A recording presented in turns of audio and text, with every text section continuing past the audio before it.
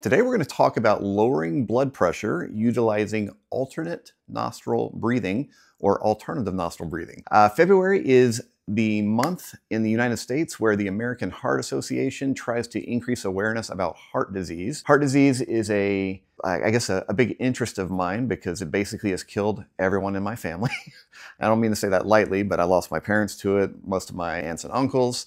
So heart disease has always been this big discussion kind of in my family, and we have seen the typical symptom patterns that emerge as people get older. A lot of it's down to diet and not taking care of themselves and exercise, etc. But strokes, heart attacks, and all of that typically accompanied with hypertension. Hypertension obviously is a huge concern for so many people, and so what we're gonna do for the rest of the month of February is we're gonna give you some different brain-based ideas and approaches that are showing some decent evidence in the research for uh, assisting in lowering blood pressure. If you are new to Z Health, we're a brain-based education company. We basically deal with movement professionals, doctors, physical therapists, uh, personal trainers, movement coaches from around the world. But one thing that we know is that everything in the body is responsive to brain-based training to some degree. So we always try to provide information that might assist people along with their typical medical treatments in getting better results. And so that's what we're going to talk about today.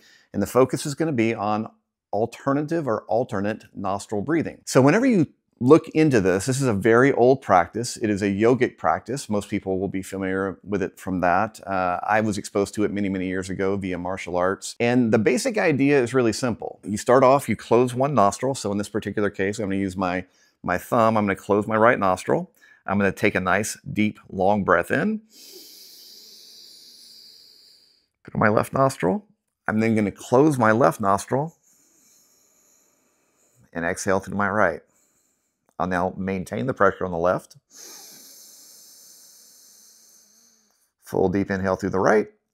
Close off the right. Long exhale through the left. Not complicated. It's just a really simple pattern of doing unilateral nostril breathing. Now, why in the world would we think that this might help with regulating blood pressure? Well, what we know from research in the neural world is that nostril breathing influence the autonomic nervous system. The autonomic nervous system is the big overarching term we give to the sympathetic, your fight or flight, and your parasympathetic, your rest and digest, nervous systems. That's how most people will refer to them. And blood pressure control is directly related to autonomic nervous system coordination uh, and function in the rest of the body. So if we can find ways to stimulate and in essence kind of relax an overactive autonomic nervous system in many cases, that's what we need to do, we can see a lowering of blood pressure.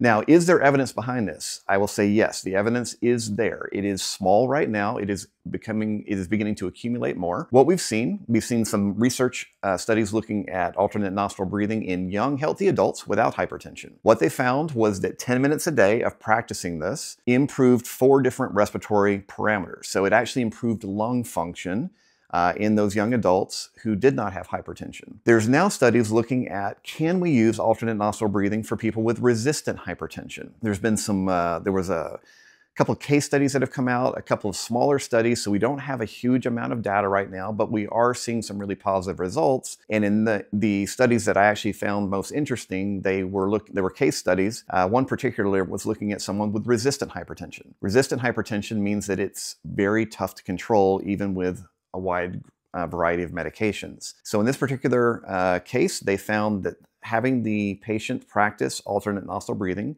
twice a day for 10 minutes, so a total of 20 minutes per day for four weeks, at the end of the four week um, intervention, systolic blood pressure had dropped almost 20 points, and di diastolic, which is your lower number, had dropped 11 points, which is phenomenally good, right? Now, that may be individualized to that person, but then we've seen some other studies where we're seeing somewhere around 10 to 12 point drops in systolic and around 8 to 9 point drops in diastolic over a period of four to six weeks uh, when we do about 20 minutes a day of the alternate nostril breathing. So the evidence is there. Like I said, it's small, it's accumulating, but it is encouraging.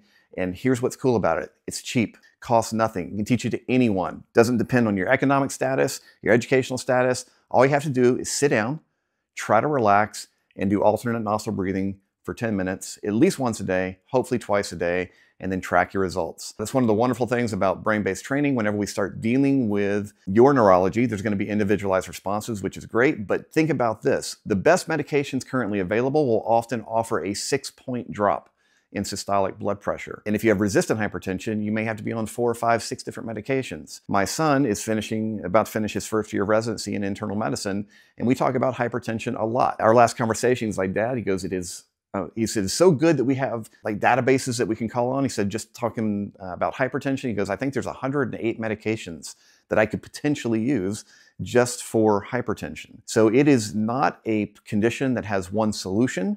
And what we want to do is offer things that can add an additional benefit to the medical management. Uh, so give alternate nostril breathing a try. I think it's a really, really powerful tool.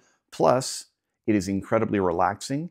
Uh, because it requires you to focus a little bit, requires you to take some time out of your day, and that's probably good for your blood pressure anyway. All right, if you have any uh, thoughts, questions, let us know. Otherwise, uh, we encourage you, if you are a, a professional interested in education, make sure to subscribe to the channel and sign up for our free mini course. You can find out a lot more about what we do, not only in the movement world, but also how we apply all this stuff to things like blood pressure. All right?